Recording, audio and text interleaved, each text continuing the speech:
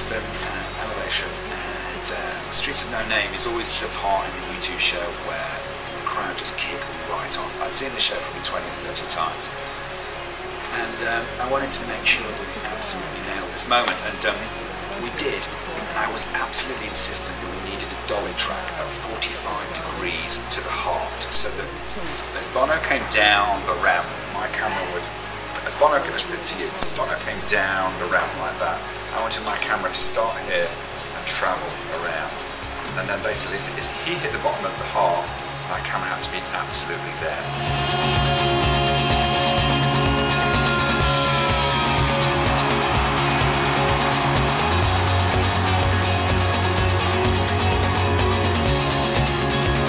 Now, the fire marshal, everybody was saying, you can't put a camera there, it's a fire, blah.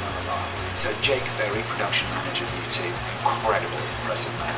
And Ned O'Hanlon, the producer, basically, and me, we just kind of, you know, we, we, we negotiated with the fire marshal, and you know what, eventually said, okay, we need to make it shorter. We've got it in position, and the shot's just beautiful. But there's another story behind the shot. So, I can't remember what song we're in, and this guy shouts at the Edge, and Edge goes, "Come up here and play guitar." Portly guy gets on stage. He starts playing guitar, and he was like, he wasn't good, right? So we're about to go live during the, I think it's the playoffs, the, the basketball playoffs, like, which is a massive deal.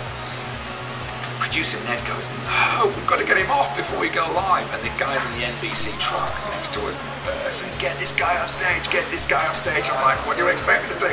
Ned runs out, gets into Edge's eyeline, goes, lose the kid, lose the kid. Edge obviously twigs, goes, ah, we're going live, get off.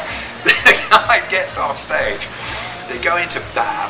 They come out of bad into streets. And there's a host spot. So we go, cue the host. The host goes, we're live at Boston, whatever arena it is. Ladies and gentlemen, the best band in the world, U2, the streets have no name. We come off that link.